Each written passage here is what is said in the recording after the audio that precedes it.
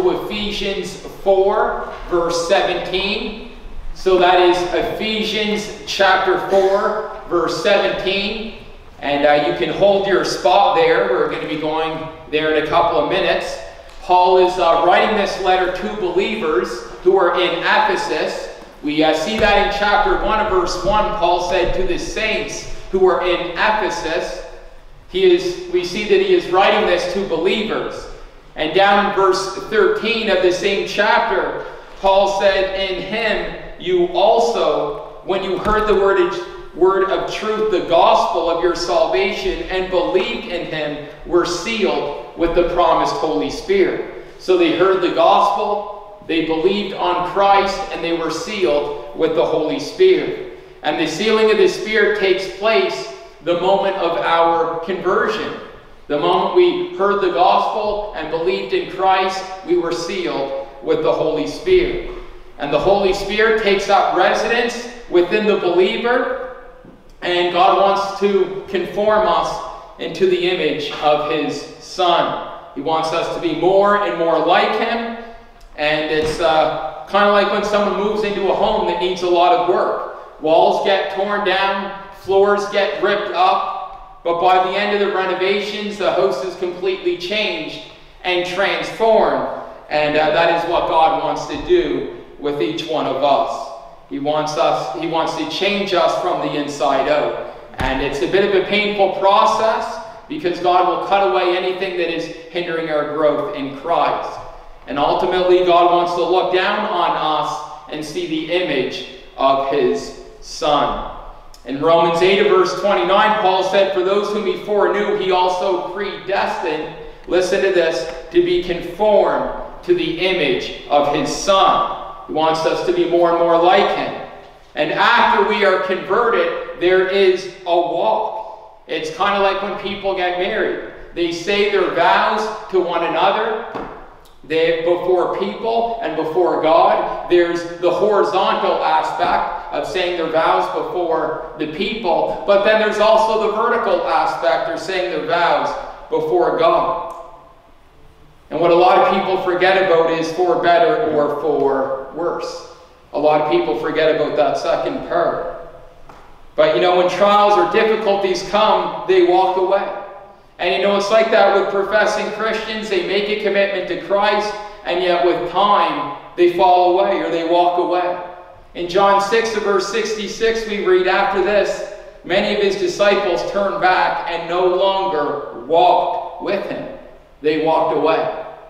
And I'm assuming that the majority of us even know people who made commitments to Christ at some point in their lives, and yet with time, they walked away. They don't have a desire to read God's Word. They don't have a desire to pray or to have fellowship with God's people. And yet you hear people say things like, well, they need to come back to the Lord.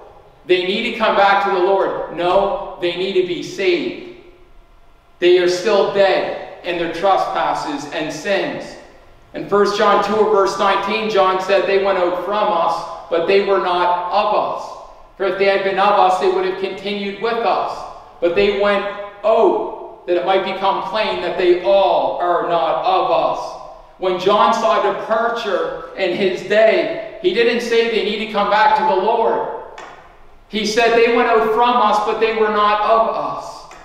And when people walk away from the faith, it's a sign that they were never, ever truly converted. And in Jeremiah 32, verse 20, we read these words I will make an everlasting covenant with them. I will never stop doing good to them, and I will inspire them to fear me. Listen to this so that they will never turn away from me. So that they will never turn away from me. And yet, how many times, I don't know about you, but I know, you know, heard people say, you know, they, they need to come back to the Lord. No, they need to get saved. A truly converted person will never abandon Christ. And you know, as the old saying goes, talk is cheap.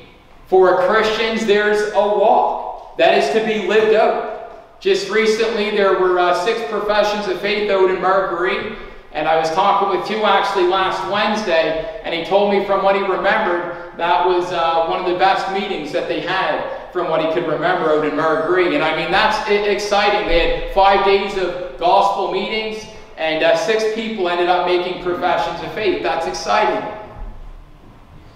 But there is a walk that is to be lived out. And that's what Paul focuses on in this passage that we have before us in Ephesians 4. He focuses on our walk with Christ. If you look down in verse 1 of chapter 4, Paul said, I therefore, a prisoner for the Lord, urge you to walk in a manner worthy of the calling to which you have been called. In verse 17, he said, You must no longer walk as the Gentiles do. In chapter 5 of verse 2, he said, And walk in love. Verse 8, walk as children of light. Verse 15 Look carefully then how you walk, not as unwise, but as wise. Clearly, he is talking about their walk with Christ. And as I mentioned earlier, he is writing this to believers who were sealed with the Spirit. If I had to uh, put a title on today's message, I would title it Living Out Our New Identity in Christ. Living out our new identity in Christ. So we will start in verse 17, the new life. Now, this I say in testifying the Lord, that you must no longer walk as the Gentiles do, in the futility of their minds. They are darkened in their understanding, alienated from the life of God, because of the ignorance that is in them, due to their hardness of heart. They have become callous and have given themselves up to sensuality, greedy to practice every kind of impurity. But that is not the way you learn Christ. Assuming that you have heard about him and were taught in him, as the truth is in Jesus. To put off your old self, which belongs to your former manner of life and is corrupt through deceitful desires and to be renewed in the spirit of your minds, and to put on the new self, created after the likeness of God, in true righteousness and holiness. Therefore, having put away falsehood, let each one of you speak the truth with his neighbor. For we are members one of another. Be angry and do not sin. Do not let the sun go down on your anger and give no opportunity to the devil. Let the thief no longer steal, but rather let him labor, doing honest work with his own hands, so that he may have something to share with anyone in need. Let no corrupting talk come out of your mouths, but only such as is good for building up, as fits the occasion, that it may give grace to those who hear. And do not grieve the Holy Spirit of God, by whom you were sealed for the day of redemption. Let all bitterness and wrath and anger and clamor and slander be put away from you, along with all malice. Be kind to one another, tenderhearted, forgiving one another as God in Christ forgave you.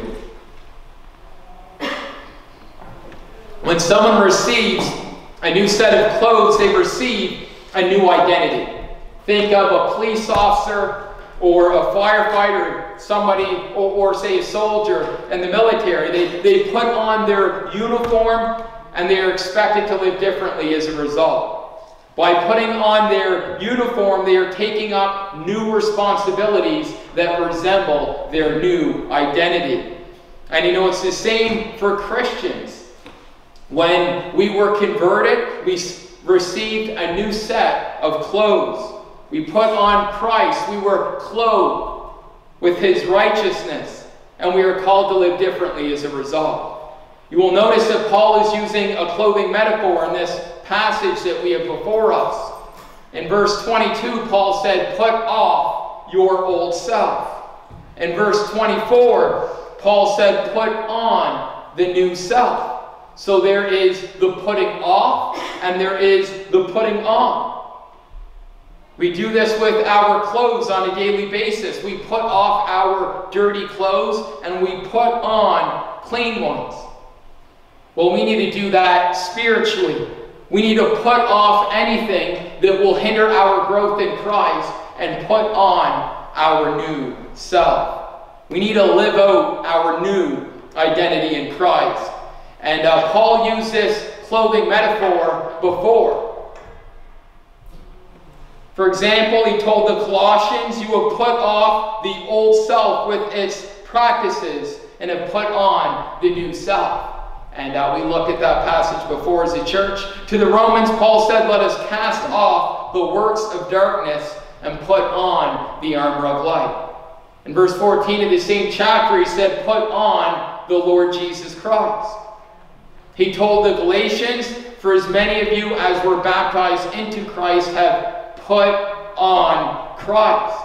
So we see that Paul used this type of language before. And this passage from Ephesians is dealing with our sanctification. Once we become Christians, we will be in the process known as sanctification, where we are becoming more and more like Christ. Once someone is justified, once someone is made right with God, they will be in the process of being sanctified.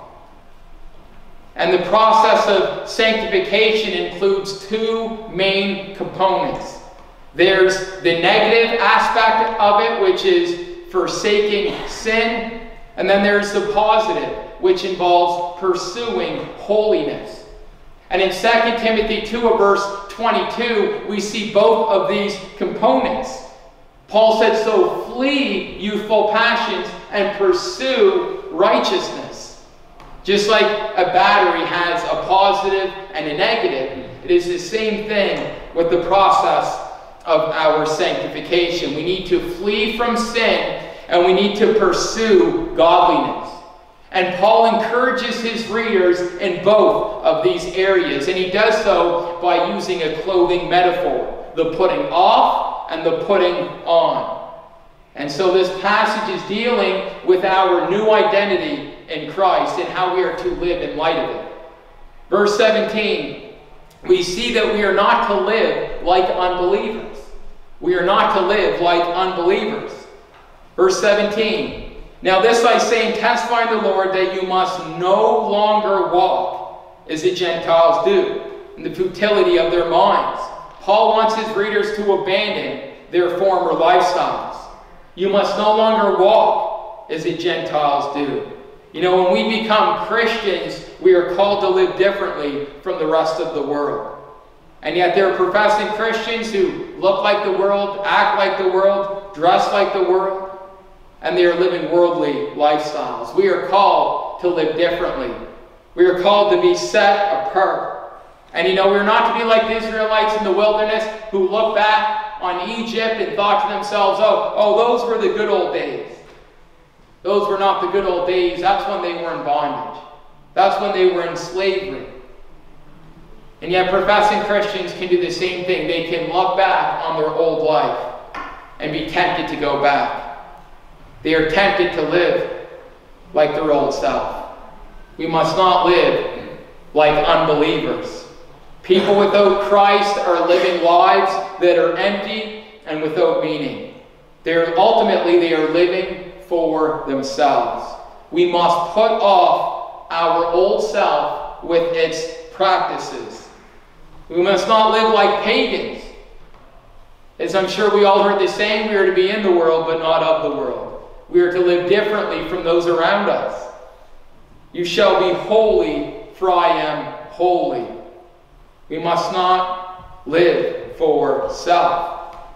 You must no longer walk as the Gentiles do. In other words, don't live how you used to.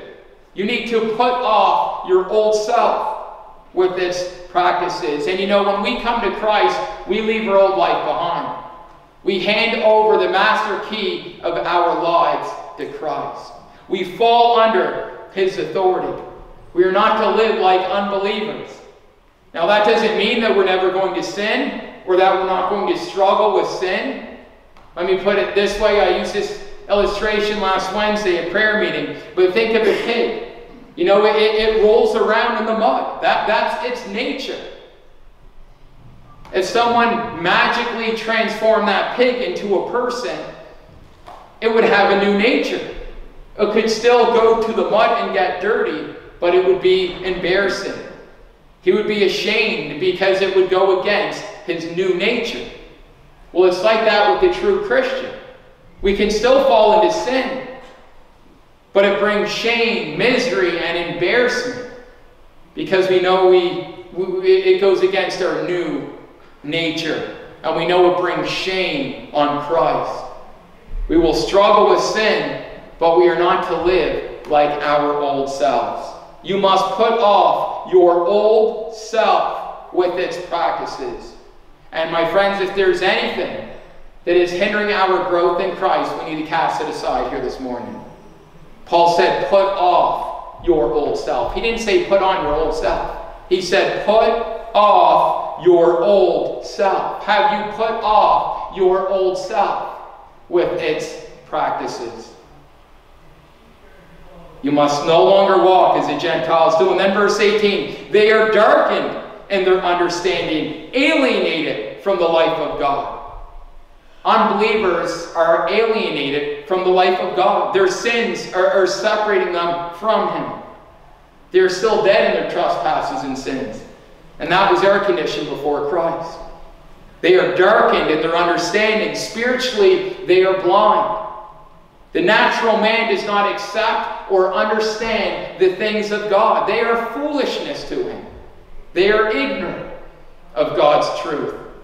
In Romans 1 verse 21, Paul said, For although they knew God, not in his saving sense, that is, they knew about his attributes, although they knew God, they did not honor him as God or give thanks to him, but they became futile in their thinking and their foolish hearts were darkened. You see, they had this general revelation about God. They could look at creation and know that there's a creator, just like we can look at a building and know there's a builder. You know, you don't look at a building and say, oh, this, this was here by chance. No, we know it had a builder. I know uh, my dad, when he was younger, he was Elmira, and this was before he was a Christian, but he was laying down one day and he was looking at the stars, and he just knew, you know, that, that he's not here by chance. Creation points us to the Creator. Well, they had this general revelation about God, but instead of turning to Him, they turned away from Him. They became futile in their thinking, and their foolish hearts were darkened. And we see in Ephesians 4, verse 18, that their hearts were hard. We can harden our hearts. Think of Pharaoh in the book of Exodus. Yes, we know that God hardened his heart. We also know that he hardened his own heart. We see that in Exodus 8 verse 32. But Pharaoh hardened his heart. That's scary, isn't it? We can harden our heart. We, we can hear the gospel time and time again and, and, and yet re, re, refuse to repent and believe the good news, and, and we can harden our heart. In the book of Hebrews, there are several warnings throughout the book of Hebrews. Uh, the first is in chapter 2 about neglecting such a great salvation. But when you go to chapter 3, you know what the warning's about? It's a warning about hardening your heart. In verse 15 of chapter 3, the author of Hebrews says, As it is said, Today, if you hear his voice, do not harden your hearts, as in the rebellion. We can harden our heart. When Ephesians 4, these unbelieving Gentiles' hearts were hardened to the point where they became callous. Verse 19, Paul said, They have become callous. And they've given themselves up to sensuality, greedy to practice every kind of impurity. When someone does something that is wrong, you know, their conscience accuses them. They, they know they crossed the line, they feel guilty about what they've done, but they keep doing it. They continue on in their sin. And you know what happens? They dull their conscience. And it would be like taking the batteries out of a smoke alarm. When a fire comes, there's nothing there to warn them. The unbelieving Gentiles' hearts were hardened to the point where they became callous. Morally, they were insensitive to sin. A true believer is sensitive to sin. Their hearts were reckless. They continued on in their sin and they continued to turn away from God. They became apathetic towards spiritual things. They didn't care and they practiced every kind of impurity. In Romans 1, three times it says God gave them over. God gave them over. God gave them over. In verse 24, 26, and 28. Well, you know what we see here in Ephesians?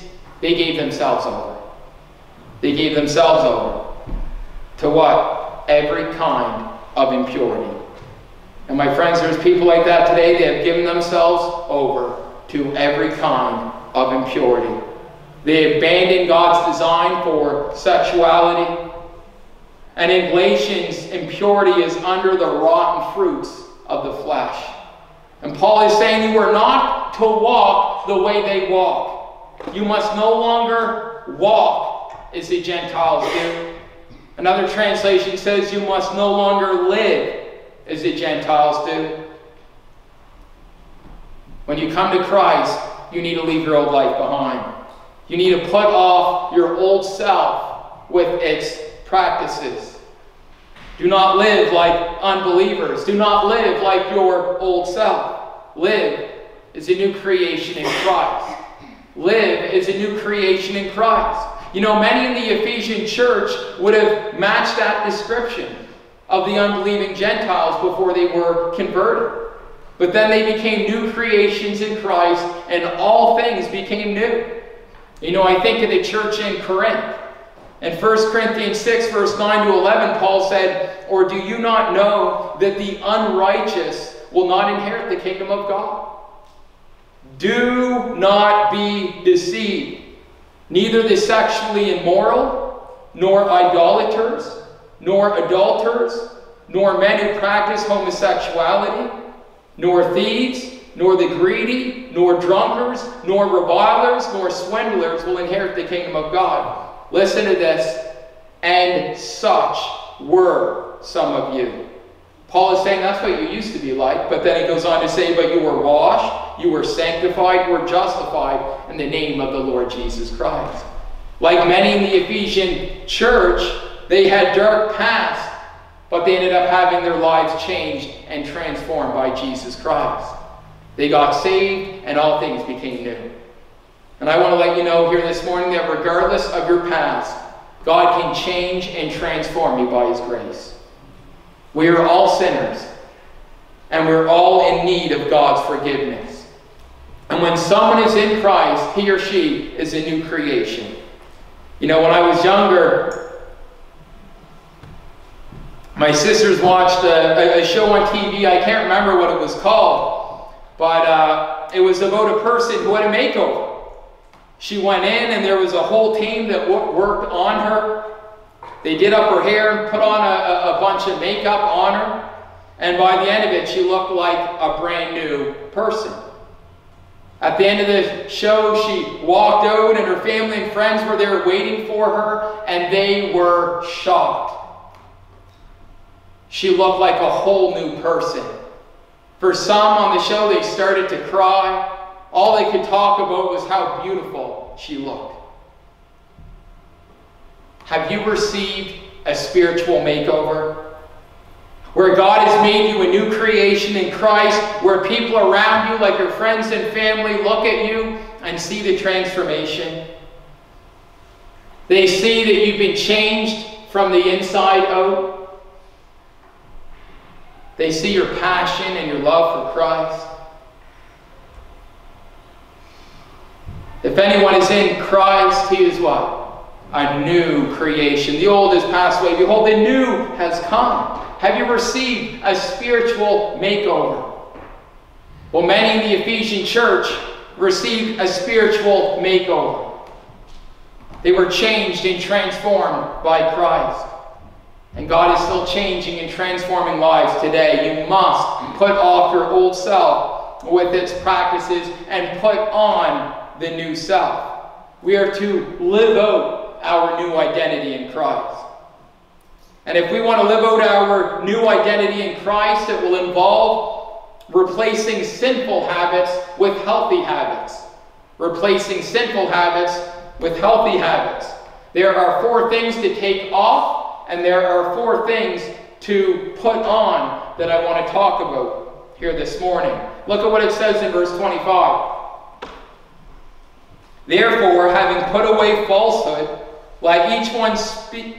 Let each one of you speak the truth with his neighbor, for we are members one of another. So we see here that we need to put off lying, which is falsehood, and uh, that obviously violates the ninth commandment you shall not bear false witness against your neighbor. And can you imagine the damage that that would do in a court of law? You know, a fair trial depends on the truthfulness of its witnesses. So if someone lies in a court of law, you can see the severity of that. Somebody could go to prison for the rest of their life and be wrongly accused. And you know, God hates lying. In uh, Proverbs 6, it talks about six things that God hates, seven that are an abomination to him, and one of those is a lying tongue. And yet, a lot of people downplay lying. Oh, well, it's, it's not that big of a deal, they say. You know, when I ask people to share the Christian message with them, I usually ask if they think they, they're a good person. And the majority of people say yes, and then I usually say, you know, have you ever told a lie before? And people will say yes, but they, they downplay it. Oh, well, everyone does. It's not that big of a deal. God does not take lying lightly. In Revelation 21 8, we read, All liars, their portion will be in the lake that burns with fire and sulfur, which is his second death. And if someone told one lie, they're just as guilty as someone who broke every single one of God's commands. And as I said earlier, we all need God's forgiveness. But when people lie, it, it gets to the point where you can't believe anything they say. You know, one of my uh, friends in particular, when he was younger, he would, he would lie all the time about how much weight he could lift at the gym. He would tell somebody, oh, I can bench press 300 pounds. And then he would tell someone else, I can bench press 315. And someone else, oh, 290 pounds. Well, we all went to the same gym. So we talked with one another, and it became obvious that he wasn't telling the truth. He wasn't being truthful. Or you would see him on the bench press, and you would say, there's no way that guy can bench 300 pounds. And I remember uh, confronting him on it, uh, uh, about that. And he admitted to me that he lied. And uh, he, he, he kept doing it, and it got to the point where he couldn't trust him about anything he said. And it's like that with people who lie. You, you can't trust anything they say. But you know what happened? Instead of lying, you know what he started doing? He started telling me the truth. He started telling me, so he replaced lying with truth telling. And he started being honest about how much weight he could lift, and eventually it built up the trust. So now if he tells me that he bench pressed 300 pounds, I believe him. But he replaced lying with truth telling. He's not a Christian, but you know, we see in this passage that we are to put off lying and we are to put on truth telling. You know, when we lie, who are we imitating? The devil. The devil is known as the father of lies. Right? And when we tell the truth, who are we imitating? God. God is truth. Jesus said, I'm the way and the truth.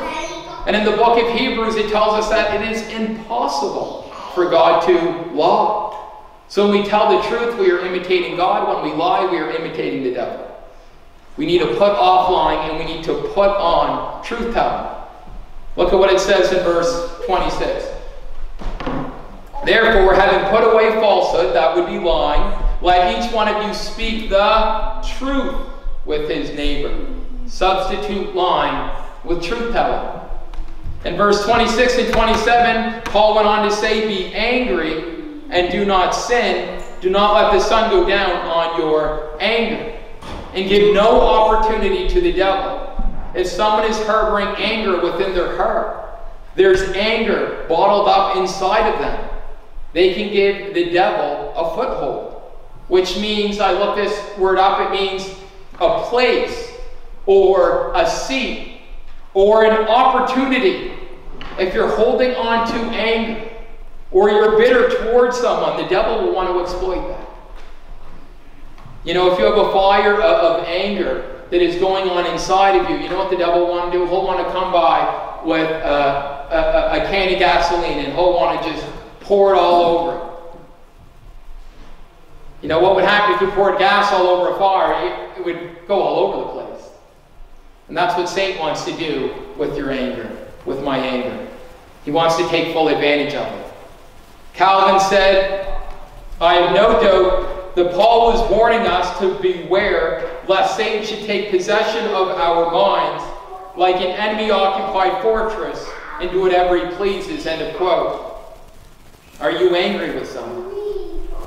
If so, think about ways to resolve it. Do not let the sun go down while you are still angry. Don't go to bed angry.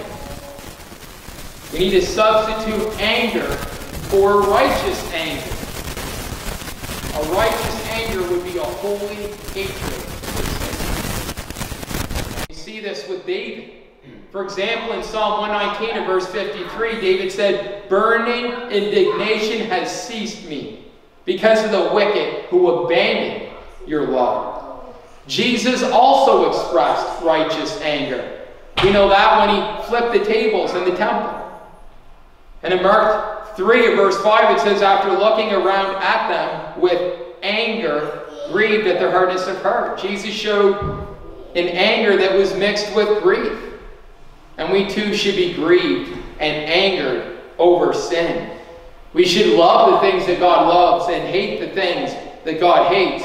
We should put off anger and put on righteous anger. So substitute anger for righteous anger. Be angry and do not sin. Do not let the sun go down on your anger and give no opportunity to the devil. Don't give Satan a foothold. In verse 28, Paul goes on to say, Let the thief no longer steal, but rather let him labor, doing honest work with his own hands, so that he may have something to share with anyone in need. Stealing violates what commandment? The, the eighth commandment, right? You shall not steal. And I've talked with people again who try to downplay stealing. Well, it was just candy when I was a kid. Well, value is irrelevant. You know, if somebody took a dollar out of my pocket, a hundred dollars, a thousand dollars, or stole my vehicle, it would still make that person a thief. And according to 1 Corinthians 6, verse 9 to 11, thieves will not inherit the kingdom of God. Stealing is a sin, and as I said earlier, we all need God's forgiveness, of course. Stealing was a problem in Paul's day, and it's a problem today. You know, I, uh, I actually know someone who recently had their vehicle stolen.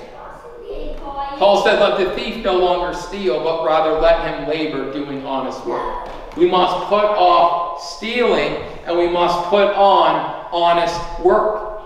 We were created to work, and work is actually a gift from God. Work was not a result of the fall. Jesus was a carpenter, he knew what it was like to, to work. Paul was a tent maker. And in 2 Thessalonians 3, verse 10, Paul said, If anyone is not willing to work, let him not eat. If we want food, we should work.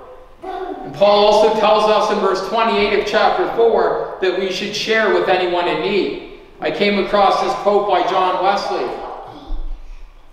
I like what it said Work as hard as you can, make as much as you can, then give as much as you can. End of quote. I remember my dad used to always tell me there's givers and takers in life. Which one are you?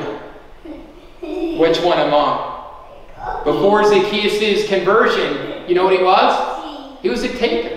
He was a chief tax collector. He'd rip people off, take their money. And then he was converted and he became a giver. In Luke 19 verse 8, we read, And Zacchaeus stood and said to the Lord, Behold, Lord, the half of my goods I give to the poor. And if I defrauded anyone of anything, I restore it fourfold. It's a beautiful story of God's grace. He was a taker, he became a giver. We should substitute stealing with honest work. Look at what it says in verse 29 Let no corrupting talk come out of your mouths, but only such as is good for building up, as fits the occasion, that it may give grace to those who hear. We must put off corrupting talk. Jesus made it clear that we will give an account for every careless word we speak. Can you imagine if somebody had a video uh, or a tape recorder and recorded every single word that we ever spoke and played it back to us. Perhaps for some, we would be running for the doors. we will give an account for every careless word we speak. Augustine actually had a sign that he hung in his living room, and you want to know what it said? Whoever speaks evil of an absent man or woman is not welcome at this table. End of quote. We can do a lot of damage with our words. My mom used to always tell me something that, uh, that her mother told her. If you don't have anything nice to say, then don't say it. But you know, we can use our words to build one another up, or we can use our words to tear one another down. And we can do a lot of damage with our words. No doubt we've all been hurt by words before and, and, and hurt others with our words. In Proverbs 10 to verse 19, we read, When words are many, transgression is not lacking. But whoever restrains his lips is prudent. The NLT puts it like this Too much talk leads to sin. Be sensible and keep your mouth shut. Before we speak, we should ask ourselves Will this build someone up? Or will this tear them down? We are, we, we are to encourage one another. And there have been times where I've been discouraged and someone came up to me with an encouraging word and, and picked me up. You know, it'd be like going over and helping someone up who's on the ground. You know, we can do a lot of good with our words. But at other times it's the complete opposite, right? Where we are hurt by words that people say. Let no corrupting talk come out of your mouths. And in chapter 5 verse 4, Paul said, Let there be no filthiness, nor foolish talk, nor crude joking, which are out of place, but instead let there be thanksgiving. You know, if we want to live out our new identity in Christ, we need to put off corrupt talk and put on edifying talk. Do you use your words to build one another up, or do you use your words to tear one another down? Do I use my words to build one another up, or do I use my words to tear one another down? Let's use our words to encourage one another. In Ephesians 4, verse 30, Paul said, And do not grieve the Holy Spirit of God by whom you were sealed for the day of redemption. Do we see what Paul is saying here?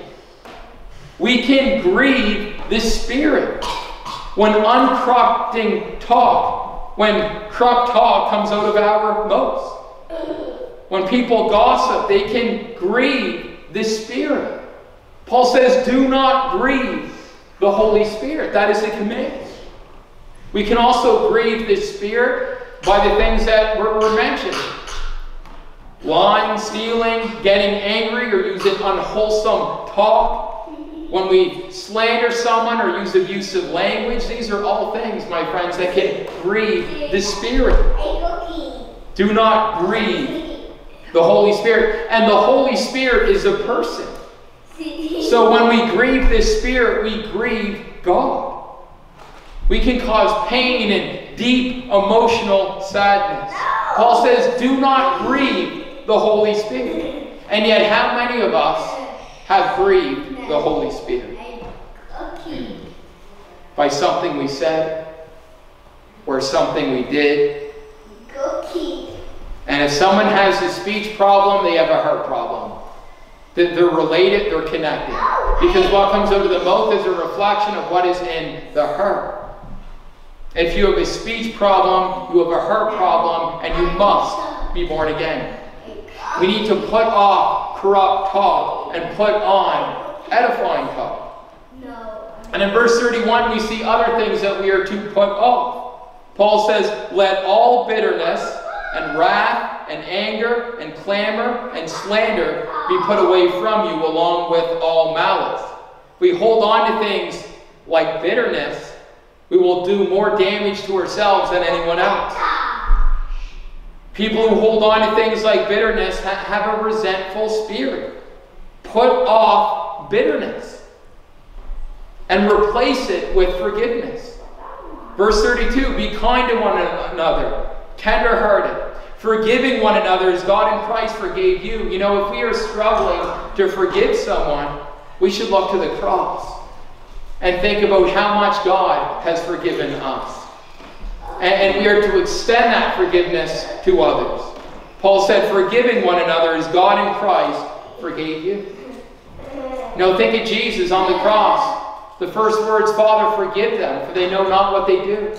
Stephen, when he was being stoned, Lord, he, he, he, he, was praying for their forgiveness. Lord, do not hold this sin against them. We need to put off bitterness and put on forgiveness.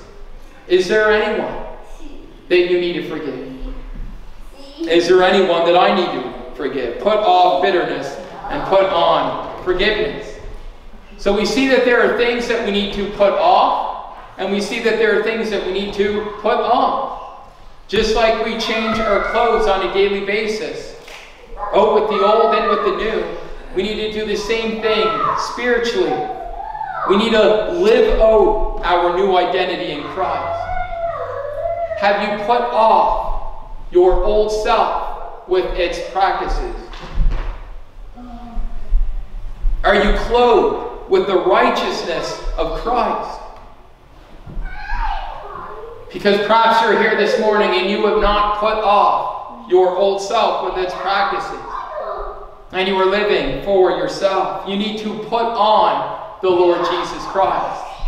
You know, when I took my jump course when I was younger, I put on my parachute.